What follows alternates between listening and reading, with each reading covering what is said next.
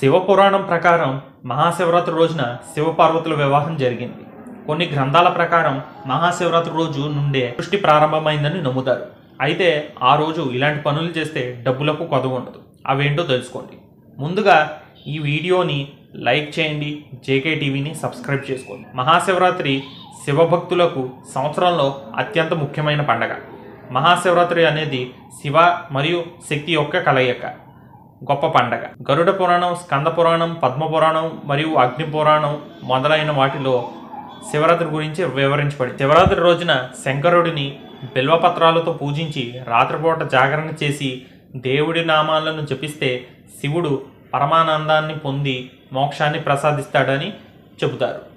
శివరాత్రి రోజున శంకరుడిని ఆరాధించడం వల్ల శివ అనుగ్రహంతో మన కోరికలు నెరవేరుతాయని నమ్ముతారు. ఇంట్లో సుఖశాంతులు సిరి సంపదలు కలగాలంటే మహాశివరాత్రి నాడు ఏం చేయాలో సవివరైన విషయాలు ఇప్పుడు తెలుసుకో. శివలింగానికి పచ్చి బియ్యం నైవేద్యంగా పెడితే మీ ఇంట్లో డబ్బుకు లోటు ఉండదు.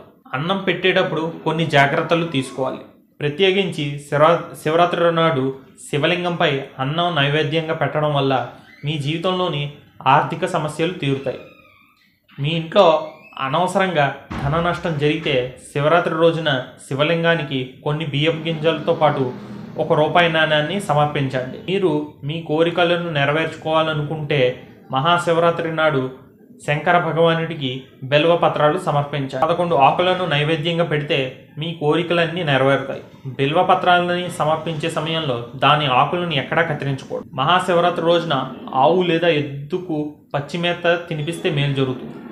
మీ జాతకంలో గ్రహదోషం వల్ల ఎన్నో నష్టాలను ఎదుర్కొంటున్నా ఉద్యోగంలో ఒడిదుడుకులు కనిపిస్తున్నా మహాశివరాత్రి రోజున శివలింగానికి జలాభిషేకం చేసి ఓం నమశివాయ అనే మంత్రాన్ని నూట ఎనిమిది సార్లు జపించడం వల్ల మీ పనుల్లో ఆటంకాలు తొలగిపోతాయి. వైవాహిక జీవితంలో సమస్యలు ఎదుర్కొన్నట్లయితే శివరాత్రి రోజున భార్యాభర్తలు కలిసి రుద్రాభిషేకం చేసి మంచి జీవితం గడపాలని కోరుకుంటుంది ఈ పరిహారం మీ జీవిత సమస్యలను త్వరలో పరిష్కరిస్తుంది.